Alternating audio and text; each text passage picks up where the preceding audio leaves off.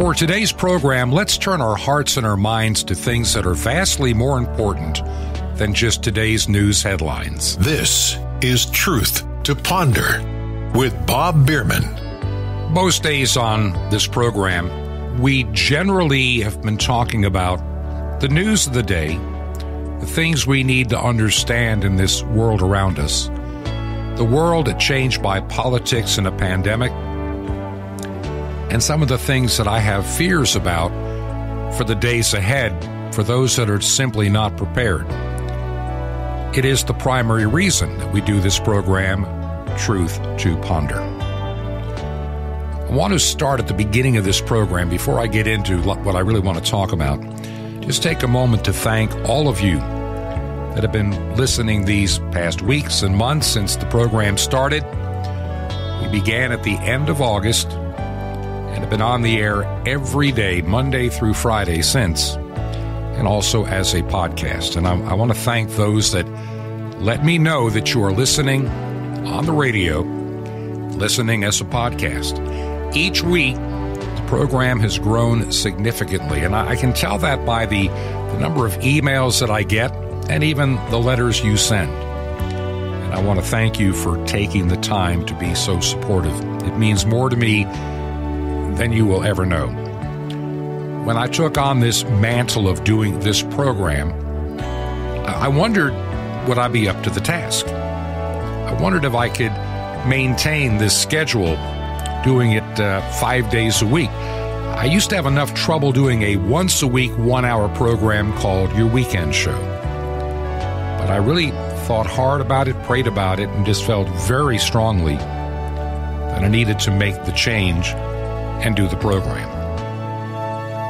When I started, it was way before the election, and I, I kind of wondered how that election would turn out. While many of my friends were saying, oh, it's a shoe in for, for Donald Trump, look at the rallies, I, I had this deep down. If you listen to the program, you'll know I kept saying if.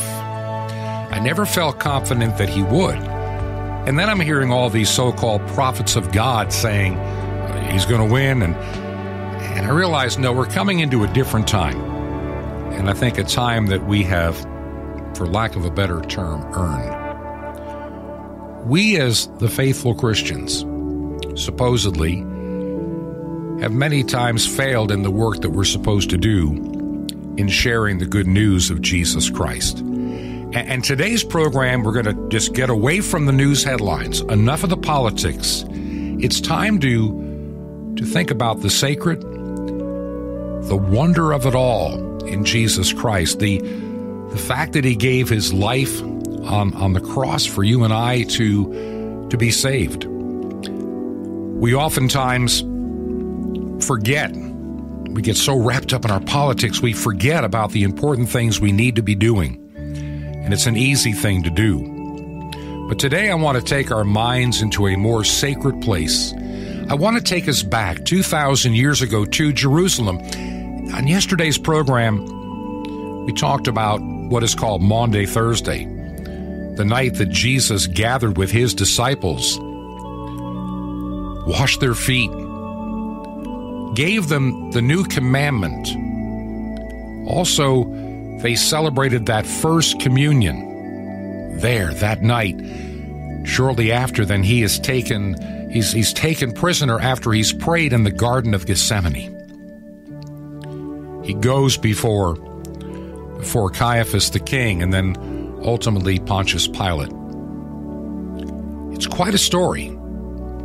And it is the center story of what the Christian faith is all about. And sometimes we forget, sometimes many of us look at at the church or did well, I go to be entertained. I go to feel good about myself. I go to be encouraged. Well, yeah, we are to be encouraged. But if we actually really worshiped our Lord in spirit and in truth and not trying to go into it like a concert and trying to feel good about me, I think we would get more out of our worship experience. Jesus gave us and his disciples and all of us today wonderful gifts. And oftentimes we have traded in weekly communion for a rock concert. And I don't think that was ever the design and intent.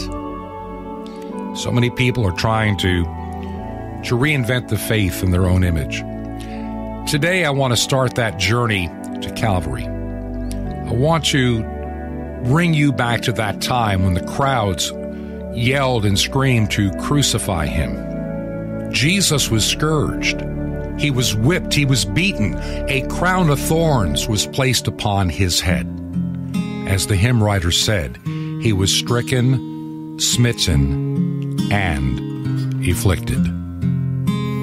Stricken, smitten, and afflicted, see him dying on the tree. Tis the Christ by man rejected. Yes, my soul, tis he, tis he. Tis a long expected prophet, David's son, yet David's Lord. By his son now God has spoken, tis the true and faithful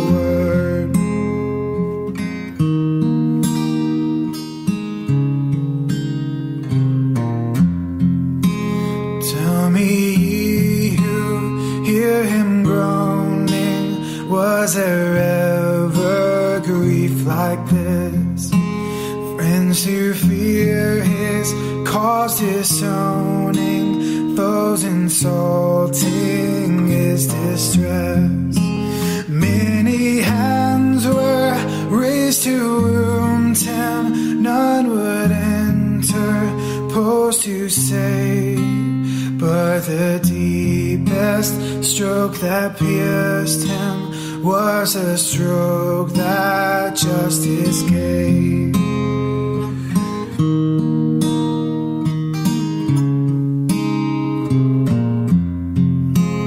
Ye who think of sin but lightly, nor suppose evil great. You may view its nature rightly, here its guilt estimate. Mark the sacrifice appointed, see who bears the awful load. Tis the word, the Lord's anointed, Son of man and Son of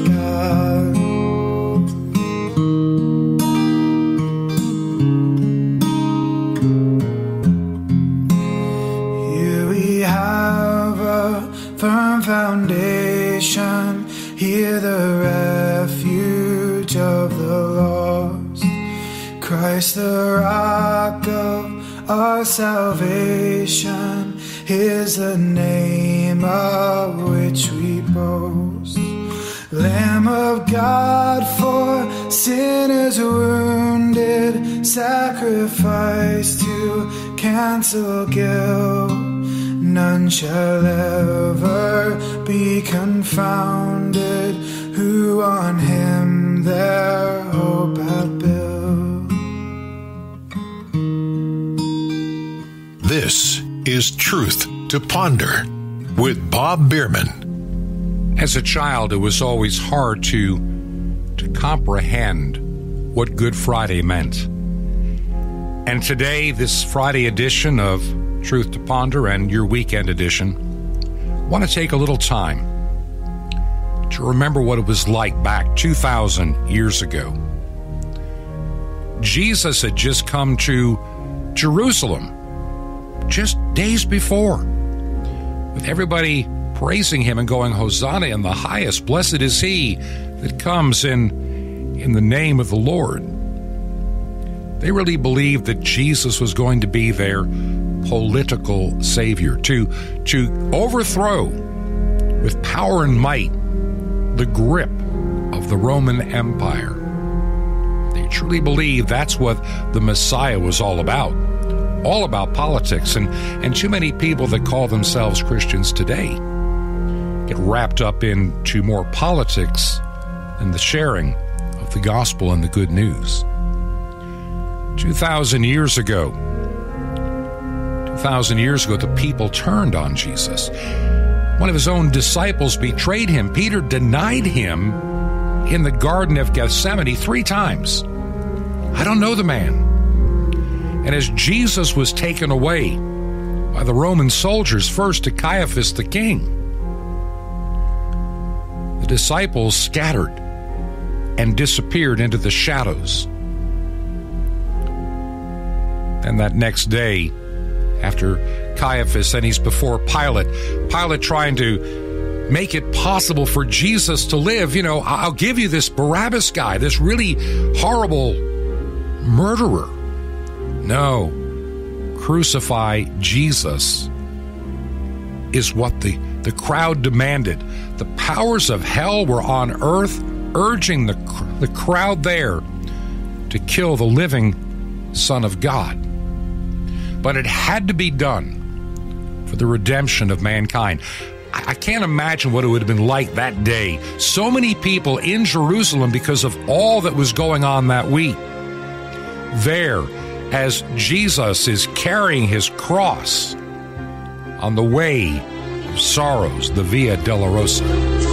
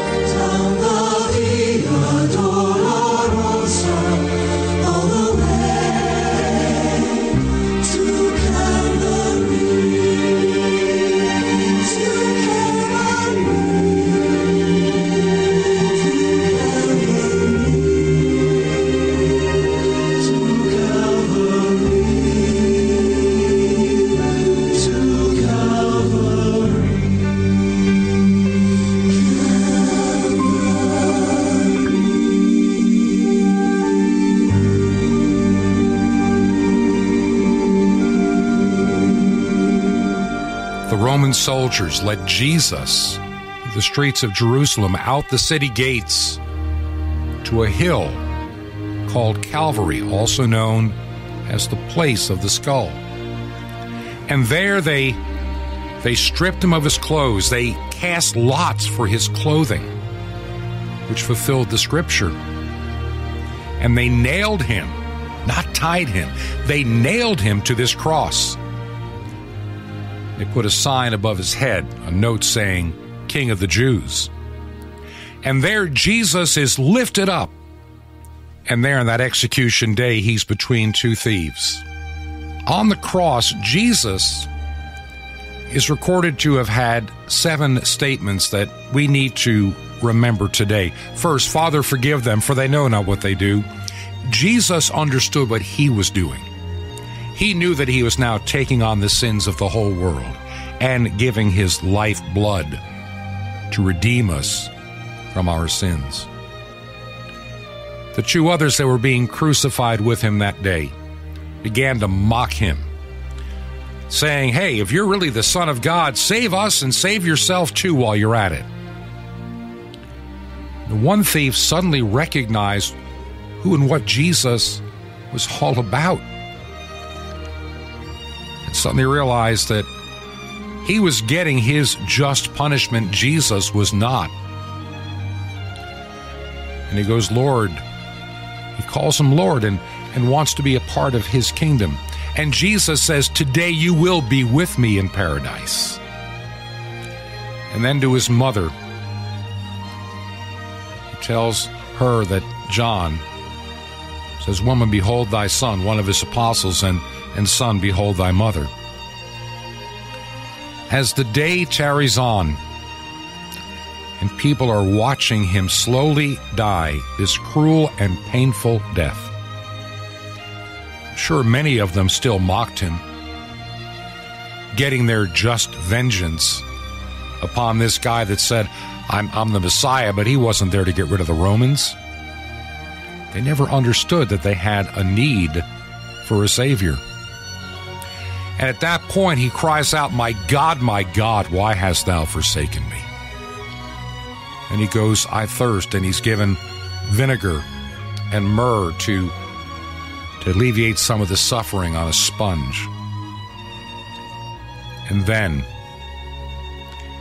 and then he's realizing all that is happening, and he, he declares, It is finished.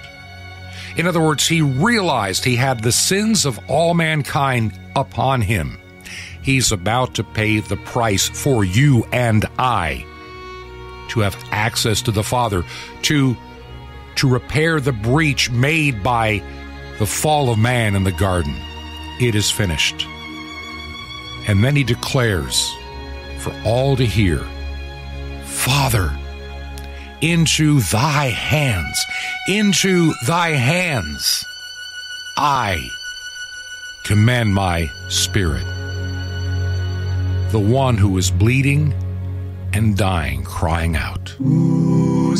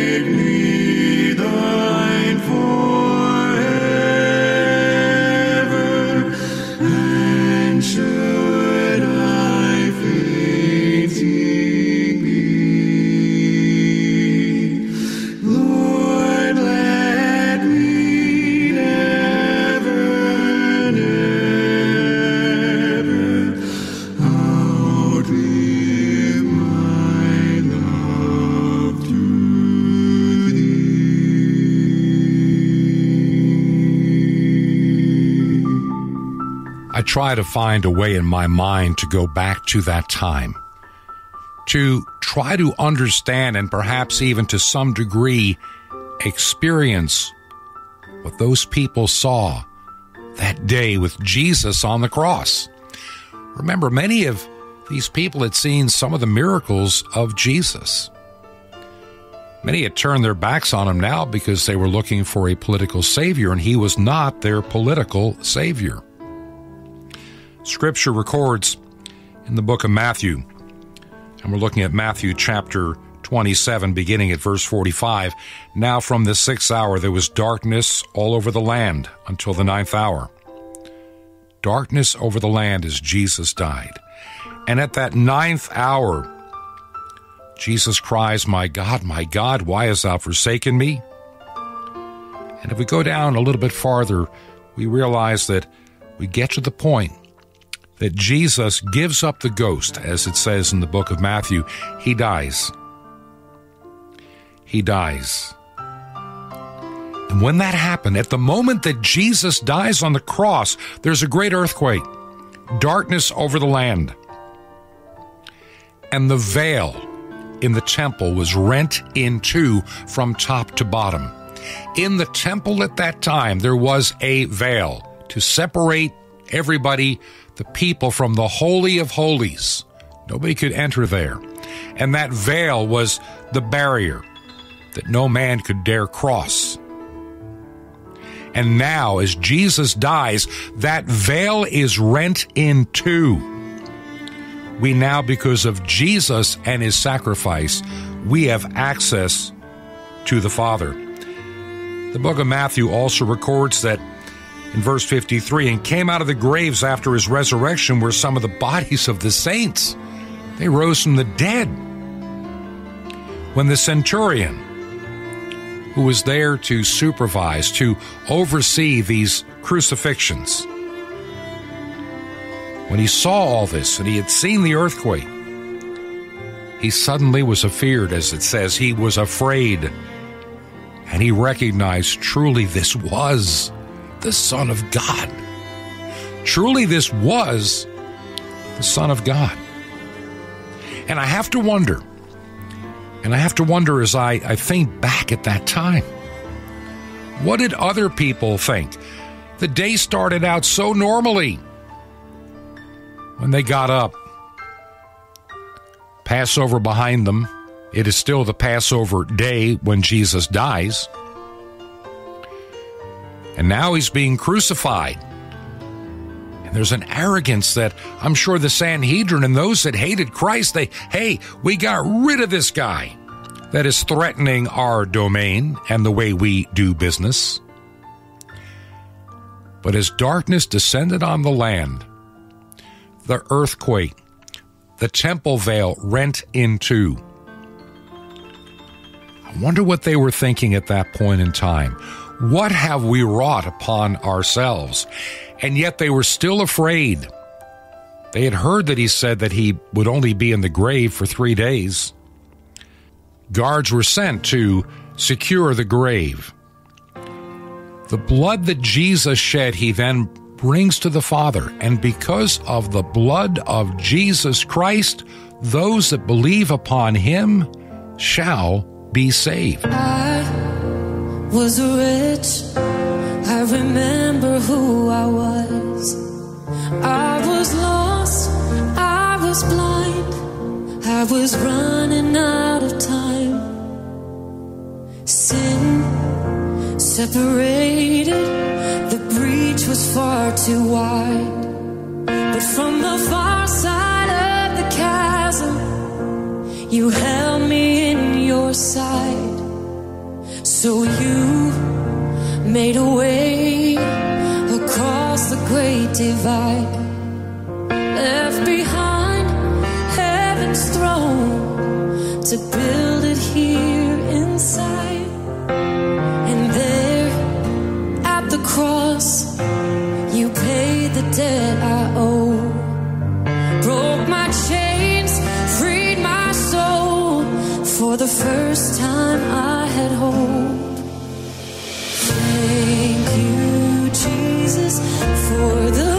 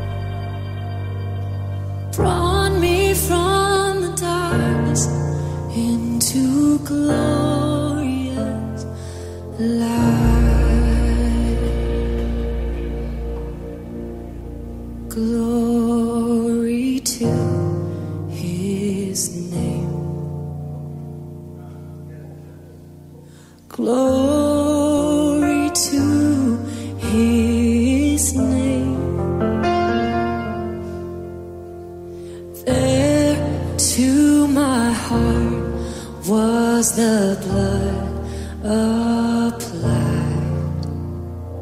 Glory to his name. This is Truth to Ponder with Bob Biermann. When I'm going to go back in my mind to that time and I try to envision what it would have been like to have been there on that day, on that day that Jesus was crucified. To be a spectator, to be in that crowd, maybe not even thoroughly understanding all that was going on. We think of that week, and let's put it in context of what may have very well have occurred. This was a time when so many people were in Jerusalem. It was a special time. Even the Bible talks about an high Sabbath, which may have meant that Jesus was crucified a day or so earlier, thus putting him in the grave three days and three nights with a very special high Sabbath, then a day of preparation, another Sabbath, and then he becomes the first fruit and he comes out of that grave regardless of how it played out in terms of how we may understand the days, is immaterial. Fact is that Jesus rode triumphantly into Jerusalem just days earlier. The crowds just in adulation. Blessed is he that comes in the name of the Lord. They looked at him as their Messiah, their Savior, in a political way. They never saw the sin that they had before God. Jesus goes to the cross, and upon him is the weight of the entire world in terms of our sin, my sin, your sin, all of mankind's sin.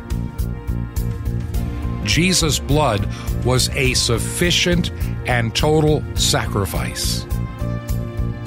The ancient Hebrews, they had their sacrifices, but they had to have more sacrifices because of their increasing burden of sin. The blood of lambs and rams and, and bulls couldn't do it anymore. Thus, we have the Lamb of God. It's amazing that Jesus was born in Bethlehem, at a place where the lambs are raised for the sacrifice in the temple. That's where Jesus was born. And now, on this Passover, where the blood of a lamb is remembered on the lintel of a door when the children of Israel were freed from Egypt, Jesus is the Lamb of God. And his blood takes away the sin of the world. Jesus completed the work of atoning for our sin debt on the cross, Calvary. That old hymn, Jesus paid it all, all to him I owe. Sin had left a crimson stain. He washed it white as snow. Something else to remember. When Jesus died, sometimes we forget this. At the moment that Jesus died, there was an earthquake. There had been darkness over the land for three hours as he died on that cross. Three hours of darkness. When he died, the veil of the temple was ripped in two, finally opening up the access to God we could not have because of our sin. Jesus' blood paid it all. Jesus, our Savior, crucified and then buried, but risen again. Listen, right now we're going to take a break, and we will be back on the other side of this break. We're going to talk more about the hope we find in the resurrected Jesus Christ. Because, see, it is by the power of his resurrection that we have life eternal. This is Truth to Ponder with Bob Biermann. Today, one of the most amazing mysteries in human history. Shalom Aleichem. This is the nice Jewish boy, Jonathan Cahn, your Jewish connection, bringing you the riches of your Jewish roots in Jesus. Now, get your pen out as fast as you can so you don't miss out on receiving a special free gift you're going to get and love in a moment. Now, what I'm about to tell you has no precedent in human history or in world religions. Listen carefully. The Temple of Jerusalem had three main barriers in its pathway, three symbols that God and man were separated. The first and innermost barrier, the veil of the Holy of Holies. The second and middle barrier, the golden doors of the temple. And the third and outermost barrier, the great brass doors of the Nicanor gate in the courtyard. Now, the New Testament records that around the year 30 AD, Yeshua, Jesus of Nazareth, died and reconciled man to God. He broke the barriers. When that happened, the first and innermost barrier, the veil, was supernaturally torn in two. But what about the next barrier, the golden doors? Well, amazingly, the writings of the rabbis declare that the golden doors of the temple began to open by themselves when the rabbis say began 30 AD, the same year Yeshua, Jesus died. Now there's more. What about the last barrier, the bronze gate? Amazingly, the Jewish historian Josephus recorded that before the temple was destroyed, the great bronze doors of the Nicanor gate, which took 20 men to open and close, all of a sudden opened by itself, scared everybody. This is awesome, awesome stuff. Even the rabbis and Josephus unwittingly bear witness to the powerful truth. God is awesome and Jesus is the way, the truth, and the life. So don't live any longer in fear or doubt or gloom, my friend. Walk in the powerful power through the gates, through the doors, and through the veils because he's real. He really does have the power to open any barrier and he has opened up to you the gates of righteousness and the path of life and glory. Want more on this? Well, you know what? This is the free gift for you.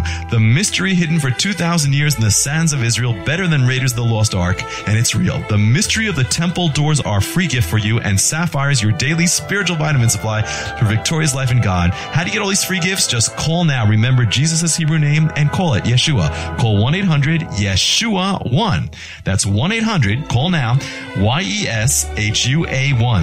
I invite you to minister with me in bringing the good news back to the people who gave it to you, Israel, and the unreached peoples of every tribe and tongue on five continents. Just call now.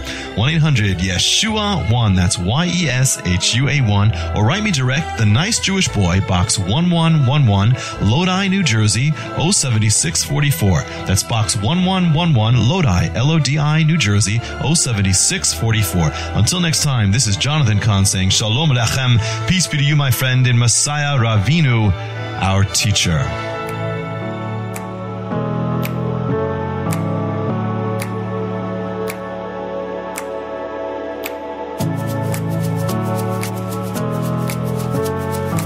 This is Truth to Ponder with Bob Biermann. And welcome back to this very special edition of Truth to Ponder. I'm your host, Bob Biermann. Normally, this program spends a lot of time talking about the, the headlines of the day, the news. Sometimes I feel like I'm doing a countdown to when Jesus will be coming back when I watch some of the insanity in the news. But for this weekend, we're going to put the news headlines aside and we're going to focus on the good news of the gospel of Jesus Christ. As we open up this segment, I want to take a moment to thank all of you that listen to the program on shortwave radio and also those that listen as a podcast. It means a lot to me if you're a podcast listener to the program. And I want to thank those that have financially supported the program to keep it on international shortwave. The airtime is not free, and we're thankful for every gift we receive, large and small. It seems that every month there's just enough to make it all come together. So thank you in advance as we now prepare to keep raising the funds during this month to be ready for the next month. If you want to help support the ministry, you can do so. And you can do it from our website, truth, the number two, ponder.com. Truth, the number two, ponder.com. And our mailing address in Georgia is 21 Berkshire Lane. That's Berkshire, which is spelled B E R K S H I R E. 21 Berkshire Lane. Add the number 263 in Sky Valley, two words, Sky Valley, Georgia, and the zip code is 30537. Once again, 21 Berkshire, B E R K S H I R E, Berkshire Lane, number 263 in Sky Valley, Georgia, 30537. And I want to thank you for listening and helping to keep this program on the air. Right now, I want to change the focus of my attention and your attention as we as we think about this week. We spent some time during the week talking about the days that many of us are familiar with from maybe our church going. We we're familiar with Good Friday, we're familiar with Easter Sunday, many even Monday, Thursday. And we talked on Wednesday how the dating could have been just a little bit different. Doesn't make any difference. Fact is, Jesus is our Passover lamb. He celebrated the Passover, gave his disciples what we call the new mandate a new commandment I give unto you. And they celebrated that first communion together. And, and I don't think the disciples understood that night when Jesus said, I will not partake of any of this, this fruit of the vine, until we are again with our Heavenly Father. And I don't think they, they understood that at all. Remember, even the disciples, in spite of all the miracles they have seen, have not quite understood the fullness of Jesus' mission on this earth. They have made a lot of assumptions along the way on what the mission is. And those that welcomed Jesus into Jerusalem were looking for a political savior, a political leader to overthrow Rome. That's what they thought the Messiah was going to be. They were wrong.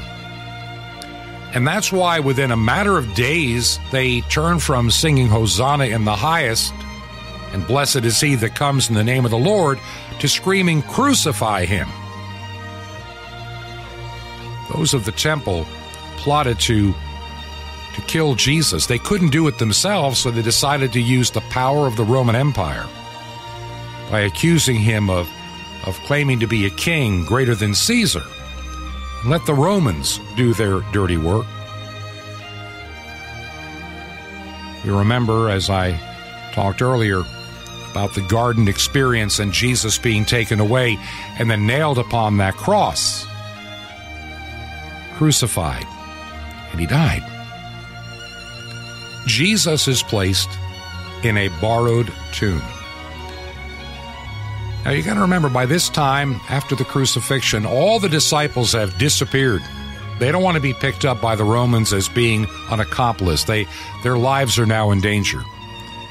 And they go into hiding. Those of the temple warned Pontius Pilate you know, this guy claimed that he would rise from the dead. We don't want to have somebody steal the body, you understand, and claim that he did rise. And so Pontius Pilate dispatches some guards for that tomb to cover that time of three days to make sure the body is not stolen. And there, during those three days and three nights, at some point, inside that tomb, by the power of the Holy Spirit, Jesus comes alive in the flesh. And Jesus gets up, takes off his linen, and then the stone is rolled away from his grave. They took my Savior down from the cross. Their hearts in despair, all hope was lost. They laid him down in a cold borrowed tomb, covered his body with the stone, sealed the room. His friends gathered close and wondered what now. Their Lord was gone. They started to doubt. Then someone cried out, We are now surely lost. All hope for salvation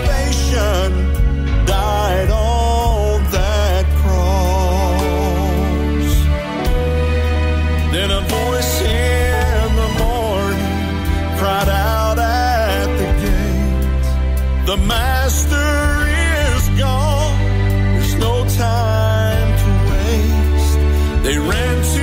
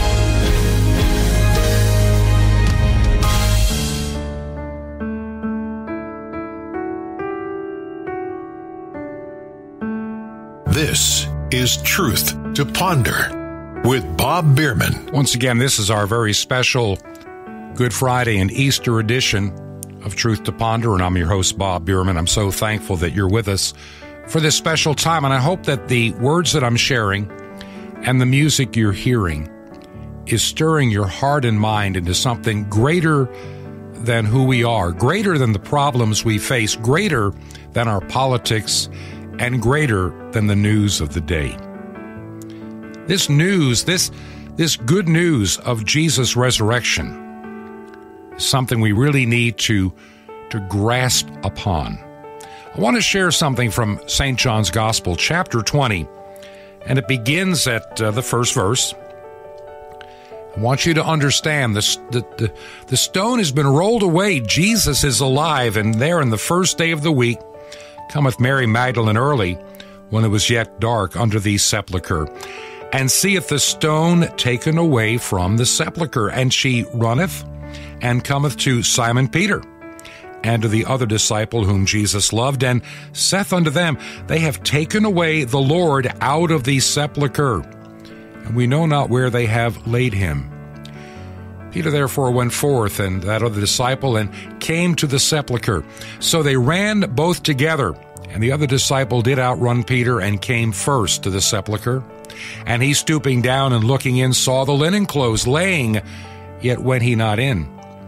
Then cometh Simon Peter following him, and went into the sepulchre, and seeth the linen clothes lie, and the napkin that was about his head not lying with the linen clothes, but wrapped together in a place by itself. Then went in also that other disciple which came first to the sepulchre, and he saw, and he believed. For as yet they did not know the scripture that he must rise again from the dead. Then the disciples went away unto their own home.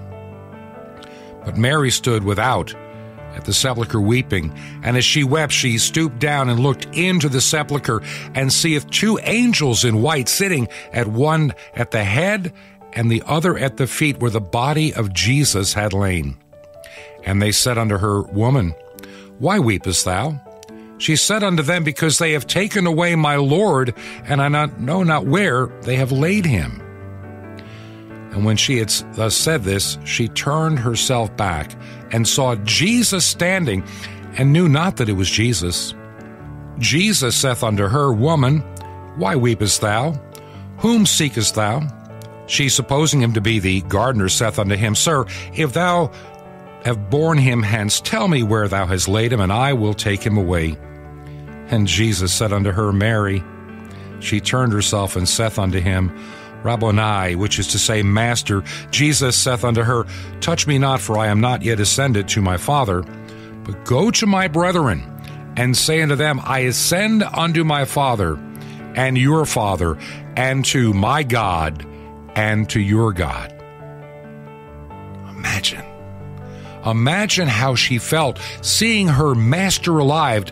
And then it we, we also continue to read, and came the same at evening being the first day of the week, when the doors were shut, where the disciples were assembled for fear of the Jews, came Jesus and stood in their midst and said unto them, Peace be unto you. Peace be unto you. All they have seen over these days, the trials, the tribulations, his him being beaten, scorned, mocked, spit upon, crucified, taken off the cross, laid into a tomb. They had no idea what their future was about to hold. Who taught the sun where to stand in the morning? And who told the ocean you can only come this far?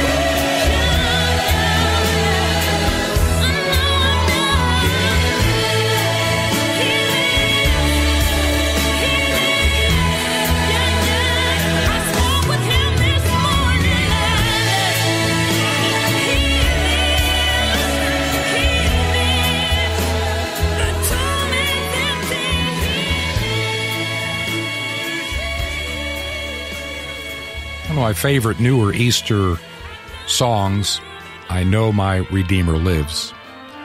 Before we close our program today, I want to share some words from Scripture to give you some hope and hopefully to, to challenge your thinking. This comes from 1 Corinthians chapter 15, beginning at verse 12. Now, if Christ is preached that he has been raised from the dead, how do some among you say there is no resurrection of the dead? But if there is no resurrection of the dead, not even Christ has been raised. And if Christ has not been raised, then our, our preaching is in vain. Your faith also is in vain. Moreover, we are even found to be a false witness of God because we testified against God that He raised Christ, whom He did not raise, if in fact the dead are not raised. For if the dead are not raised, not even Christ has been raised. And if Christ has not been raised, your faith is worthless and you are still in your sins.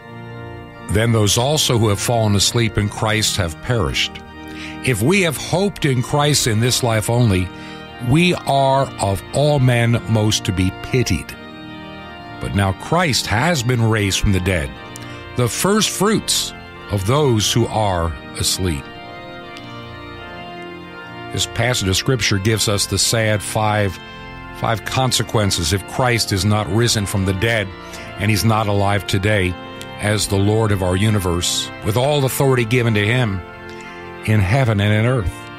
Understand that St. Paul was writing this letter to the church at Corinth, where many people there absolutely did not believe in any kind of resurrection. It was a very carnal city, very sinful and wicked city, and the whole idea of a redeeming God and eternal life was a foreign concept. If there be no resurrection of the dead, if nobody rises from the dead, Paul points out the obvious. If there is no resurrection, not even Christ has been raised. And he explains, explains to us so clearly all the consequences had Christ been not risen from the dead. We that believe in Jesus Christ have the hope of his resurrection, the power of his resurrection. We have the blood of Jesus Christ cleansing us from our sins. When I do this radio program each day, I know much of it is dealing with, with the headlines and the news and the things we need to be concerned about politics, pandemics, cancel culture. And, and yes, next week we'll get back to discussing things like the cancel culture and all that we as Christians need to be thoroughly aware. We can't be living in ignorance and not knowing what's going on. But regardless, we need to know no matter how bad things get, if we really have faith, we're just looking for His soon coming again. We should have hope because of the resurrection. Want to thank you for listening today. Want to thank those that support this ministry. If you believe in what we're doing, you can go to our website, truth, the number two, ponder.com. Or if you'd like to support us financially, you can make a check out to Ancient Word Radio and send it to 21 Berkshire Lane, B E R K S H I R E, 21 Berkshire Lane, number 263. That's number 263, our secure P.O. box here. 21 Berkshire Lane, number 263, and we are in Sky Valley, two words Sky Valley, Georgia, zip code 30537. That's 30537. This has been Truth to Ponder with Bob Biermann. To find out more, visit our website, truth, the number two, and the word ponder.com. That's truth, the number two, ponder.com. Truth to Ponder, shining the light of truth in a darkening world.